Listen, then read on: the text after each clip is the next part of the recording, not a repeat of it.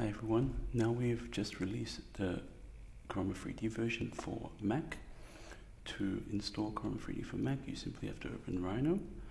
You type command in the command line package manager and then you just have to search for the Karamba plugin.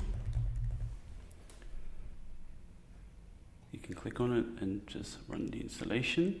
After the installation has been successfully installed, you just have to open Grasshopper. Now you will see the Karamba3D tab in your Grasshopper. If you have purchased a license, make sure to activate a license. Currently, we only support standalone licenses, so please email us or download a trial license from our website. So you can use the load license file to load your license file, and now you just have to open any script to run your Karamba definitions. And there you have it. Thanks.